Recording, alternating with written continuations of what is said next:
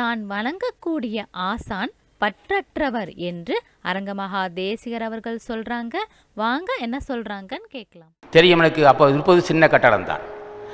பத்தாண்டுகளுக்கு முன்னே இந்த இப்போ தற்போது தற்போதுள்ள தாவர சங்கம சொத்துக்கள் இனி என்னால் கட்டப்படும் சொத்துக்கள் வாங்குகிற சொத்துக்கள் தாவர சங்கம சொத்துக்கள் அத்தனையும் எனக்கு பிறகு தர்மத்துக்கு என்று சொல்லிட்டோம்.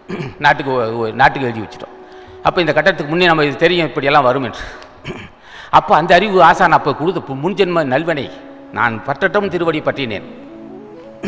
நான் வணங்கக்கூடிய தலைவன் பற்றற்றவன் வஞ்சனையற்றவன் தூய்மையானவன் அருள்பட உள்ளவன் அவன் திருவடியை பூஜை செய்கிற காரணத்தினால்தான் இந்த இல்லை என்றால் இத்தனை மக்கள் இங்கே கூடுதலுக்கும் பசுவாக இருக்க முடியாது. லட்சக்கணக்கான மக்கள் கோடிக்கணக்கான மக்கள் பசுவாக இருக்க என்ன எனக்கு துணையாக இருந்ததுன்னா ஆசான் திருவடியே துணையாக இருந்தது. என் தூய மனசுமே எனக்கு துணையாக இருந்தது.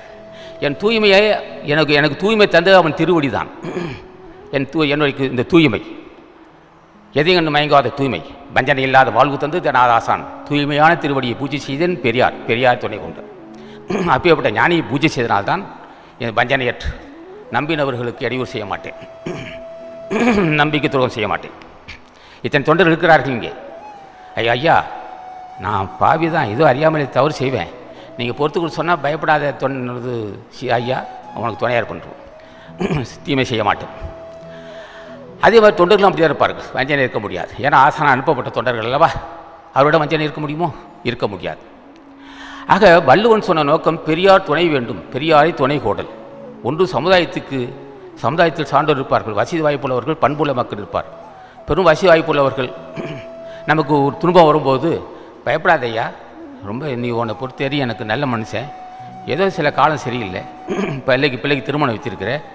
மனைவி மனைவி உடம்பு சரியில்லை. நான் போ வேண்டிய பொருள் தரேன் கவலைப்படாதுன்னு சொல்கிறது ஒரு பெரிய மனுஷன் வேணும். அவர் சமூக சான்றோர்கள் பிறகு துன்பத்தை உணர்ந்து பொருள் உதவி செய்யக்கூடிய பண்புள்ளவர்கள் யாராக இருந்தாலும் அவர் தான் சான்றோர்கள் அப்போ சமூக சான்றோர்கள் அவர் சமூக சமுதாயத்தில் இருக்கிற நலிவுள்ள மக்கள் பஞ்சபரார்கள் ஏழைகள் இவர்களுக்கு பாதுகாவலாக இருப்பவர்கள். அது அந்த அப்படி வேண்டும். அப்படி நான் அவர்கள் நட்பு வேண்டும். ஒரு இல்லாதத்தான் ஏழையாக இருந்தால் பக்கம் பக்கம் உள்ள பெரியோர்களை நட்புக்கு தேடி ஐயா நான் ரொம்ப ஏழை. என்கிட்ட இருக்கிறது அரை ஏக்கர் தான்.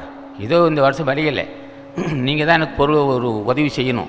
அப்படிங்கும்போது அவன் என்ன- அந்த ஒரு என்ன செய்வார்? சான்றோர். கவலைப்படாதே அவன் குடும்பம் ரொம்ப நலிந்த குடும்பம் பிள்ளை குட்டிக்காரரு உங்களுக்கு வேணுங்கிறத செய்கிறேன் என்று சொல்வார்கள். செய்வார்கள். இன்னமும் நடக்கும் அந்த பண்பு இல்லாமல் போகவில்லை. இல்லை என்றால் முன்னே மேலே உலகம் அணிந்திருக்கும் அப்போ சமுதாய சான்றோர். அதுபோன்ற பண்புடைய மக்கள் இருக்கிறார். அவர் நட்பு வேண்டும். சிறந்த அறிவாளி ஏற்பான் சிறந்த அறிவுடையவர்கள். எல்லாவற்றும் தெரியும். அவர்களுடைய நட்பு வேண்டும். சிறந்த அறிவுடையவர்கள் நட்பு வேண்டும். மற்றொரு நட்பு நான் சொல்கின்றன அல்லவா? பந்த பாசத்தை தூள்படுத்தும் பாவத்தை தூள்படுத்தும் வஞ்சனையை உடைத்தெறியும் தூய மனசு தரும். ஆசானது அருளுரைகளை தொடர்ந்து கேட்க அரங்கர் டிவிக்கு லைக் பண்ணுங்க சப்ஸ்கிரைப் பண்ணுங்க. மறக்காம பெல் பட்டனையும் கிளிக் பண்ணுங்க.